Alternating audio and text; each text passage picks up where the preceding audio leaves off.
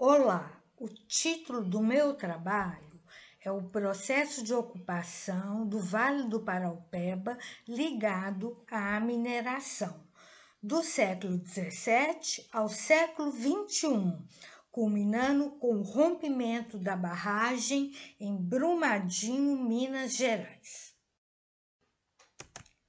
O objetivo é historicizar o problema da mineração desde o século XVII até o século XXI, culminando com o rompimento da barragem da mina Córrego do Feijão em Brumadinho de responsabilidade da empresa.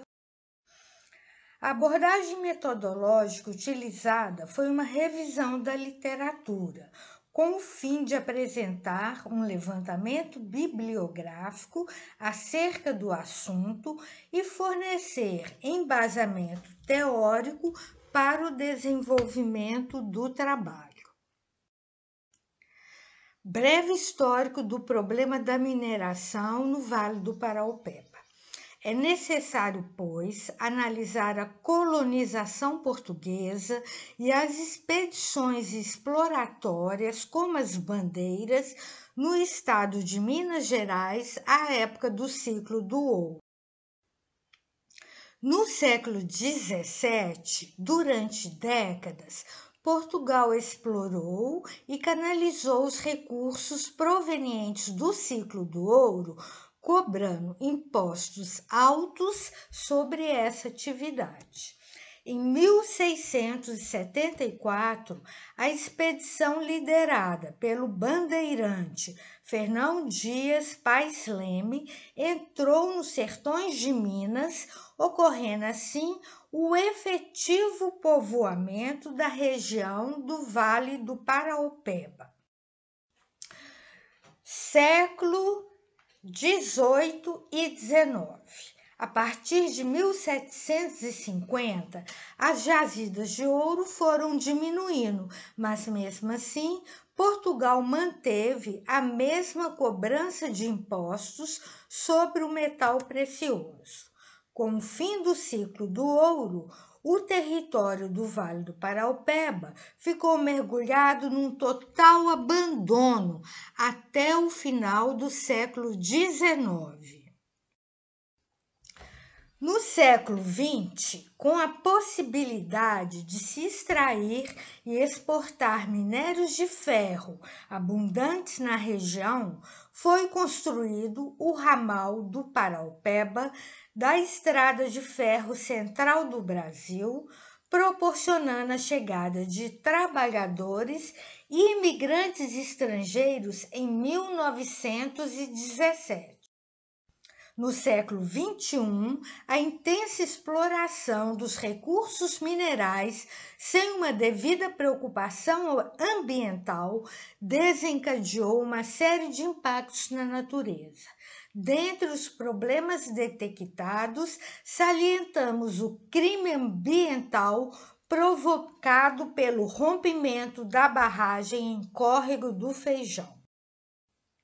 Este crime ocorreu em 25 de janeiro de 2019, matando 270 pessoas e nove vítimas seguem desaparecidas. Foi uma tragédia anunciada de responsabilidade da empresa Vale, pois desde 2003 ela tinha conhecimento das possibilidades de rompimento da barragem. Além de não implementar medidas para evitar o colapso da estrutura, manteve instalações ajusantes e em nenhum momento comunicou o risco à comunidade. Pode-se dizer que o rompimento foi resultado de um ato intencional de ocultação do risco e da inação da empresa. Compreendemos que esse crime-tragédia ocasionou prejuízos humanos, ambientais e socioeconômicos sendo mais uma violação aos bens naturais provocado pela destrutiva submissão aos interesses empresariais. O padrão de mineração que predomina no Brasil desde a colonização reproduz modos de exploração socioeconômica afetando a segurança das pessoas e do meio ambiente.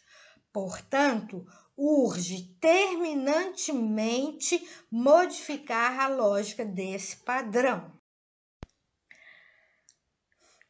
A recorrente polêmica da mineração em Minas Gerais permanece até hoje com o domínio de empresas multinacionais com caráter predatório, desumanizado a serviço do capital. Não foi acidente ambiental Acidentes são provocados por tsunamis, erupções vulcânicas, terremotos, vendavais, tufões, etc. Rompimento de barragem é crime ambiental, ganância e negligência, o que faz parecer acidente natural um conjunto de crimes e catástrofes. Infelizmente, este crime passou a fazer parte da história de Brumadinho, mas não vai se tornar uma amnésia histórica. Os sobreviventes e todos atingidos por essa tragédia irão ressurgir dos destroços, assim como a lendária fênix da mitologia grega, renasce das próprias cinzas e se empodera, transformando-se em símbolo de força, luta e esperança, como uma alegoria da morte e do renascimento. Gratidão a